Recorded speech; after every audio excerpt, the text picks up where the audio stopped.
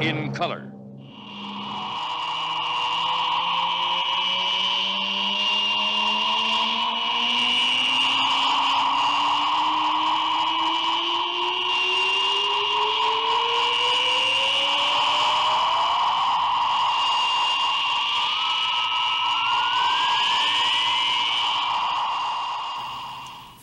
Welcome back to Scale Model Kit Review.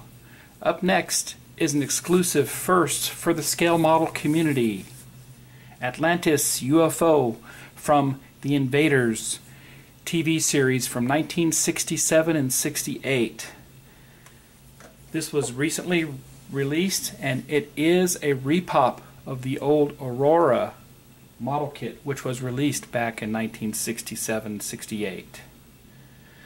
Of course, this has been this these molds have been around for a long time. Monogram, Suzuka re-released this kit, and the last time this kit was released was back in 2003. I've seen several builds on YouTube for this kit. Most notably, Simon Merks did it did a uh, build of this, all lighted up, and Trekworks also did a wonderful build of this kit. So look for their channels to see how this kit builds up and how it's lighted. It, it makes for a very nice display. I wanted this kit and I yes I do have some repops that are in the monogram boxing but this one right here is exactly a repop from the Aurora and of course monogram was a repop from Aurora also today, if you go on the internet, some of those original monogram releases go for high dollar, high amount of money. And every now and again you'll find one for under $50. Now this kit here, I picked it up at the local hobby shop while I was in, in El Paso, Hal's Hobby Barn. His prices are a little high, but he does have a great selection and a few collectible kits. This one ran me around $46. Let's get a closer look at the box art. It is 172nd scale, skill level 2, and you can see the release was this year in 2015. Landing gear pods, full interior, and fusion core. We'll look at the side. Now it's in the Atlantis popping instead of Aurora. This is the original box art that Aurora came out with back in 67, 68.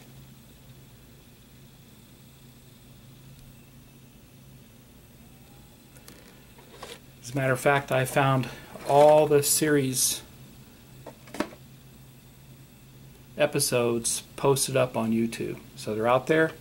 Give it a watch. Pretty cool stuff. And of course there's nothing on the back side.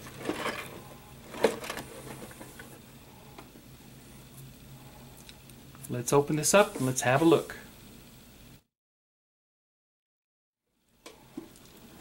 Let's see what this bad boy looks like. Inside,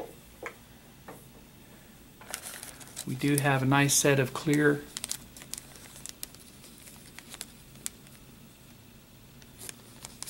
parts here. I'll take those out of the bag here in a second. another bag of all your silvery grayish silver colored parts. Looks just like the monogram one, which it is. It's just a repop of the old monogram Aurora kit. All in one part here. And then we have the kit instructions in color. Even gives you the Aurora logo here. The original box art from the Aurora release.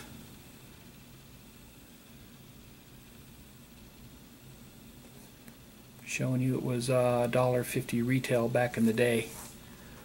So this is actually a reproduction original sell sheet provided to the hobby dealers back in the day. So this was a hundred a dollar fifty kit now sells for close to hundred dollars turn it over. We have everything in black and white here. Uh, the kit instructions give us if you want to pause it, you can go ahead and read this. I'll move it down.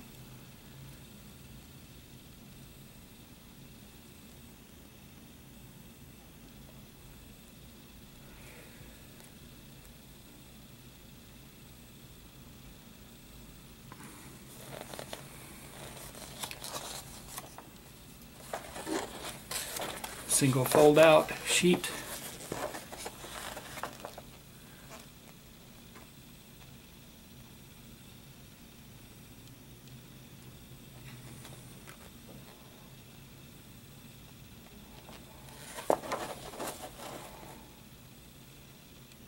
Step two, all the interior.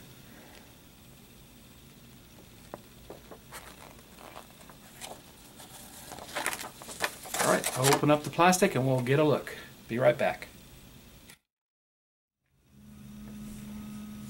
Here's a partial showing of some of the parts here. Just like the old Aurora and Monogram kits, most of the parts have already been taken off or fallen off the sprue trees. Looks like my copy here the one of the landing gear pegs is actually broken off here. Get a closer look.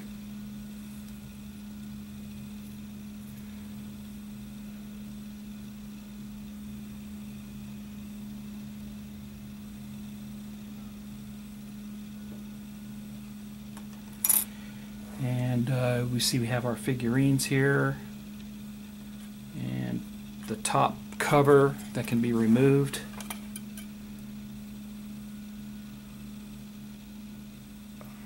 little decal on there.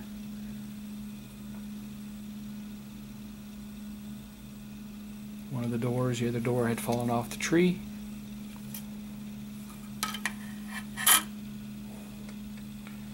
One of the chairs.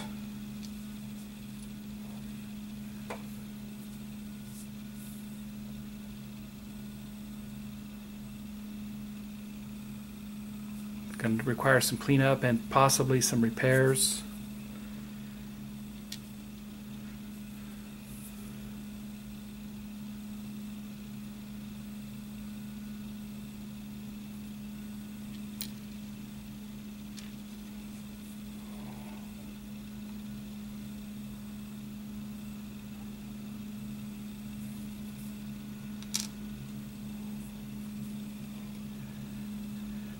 Sitting down, crewmen.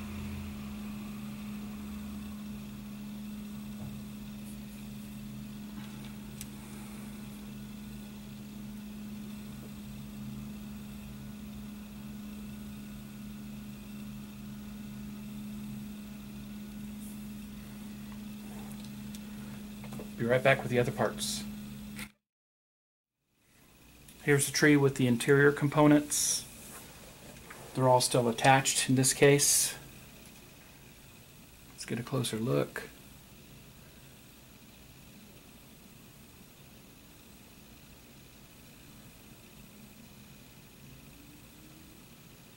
Flip it over. TSDS does make a really nice decal set for this to dress it up.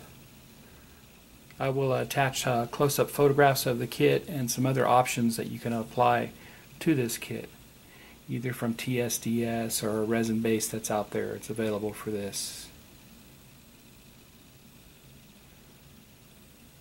All your instrument panels gauges and lastly main control panels. Very nice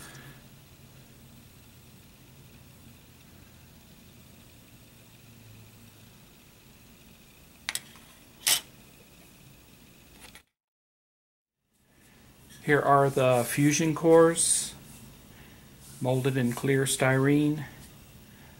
The original release, these were actually molded in a clear red styrene. So in this case, they do give us the uh, clear ones because if you've seen the TV show, the color varied from blue to green.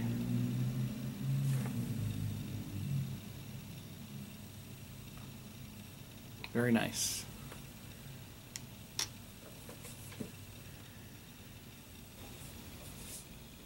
Here's the bottom of the kit, which hasn't changed at all. You'll see solid piece. A lot of people will replace this grate here with possibly a automotive reflector or they'll just vacuum form their own clear or white thin plastic so they can light it from behind. Also, if you wanted to light up the fusion cores, you would have to drill out these, which is not a, a very complicated task. Turn it over. Nothing on this side. There is some numbering here. The top of the invader UFO. Nice shiny silvery colored styrene here.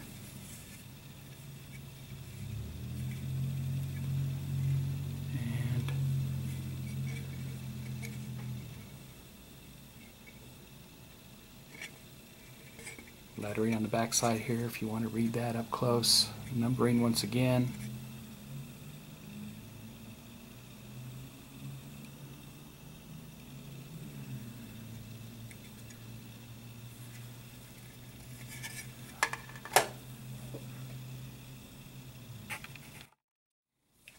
Going back to a couple of parts I wanted to highlight, and that would be the top section that's removable. In this case, if you wanted to light it, then of course you would have to cut out these pieces here. So you'd have that fusion core uh, effect, fusion core where the lights strobe around in different speeds and even in different colors if you so choose using RBG LEDs. And then of course one of the landing legs does have the ladder already on it, just like the original kit. So there's no difference between this and the Aurora first release kit from 1967.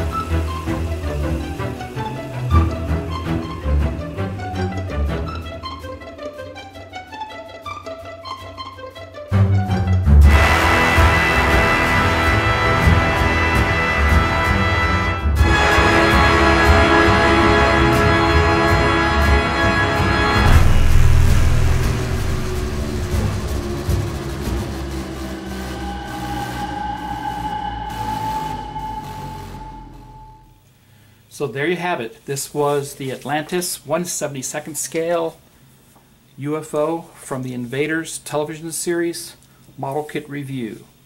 This was the repop from the original Aurora kit from 1967. It's nice to see this kit. It's nice to see it really, the molds haven't degraded all that much for how old this kit is. And uh, I'm glad to have it available and for those of us who want to light them up as TrekWorks and Simon Merks did on their channels. It makes a beautiful kit. Stay tuned for more model kit reviews and thank you for tuning in to SMKR. I appreciate all my subscribers. I'm getting ready to, to surpass the 3,000 subscriber mark and without your help I wouldn't be able to do that. Thank you and have a wonderful day.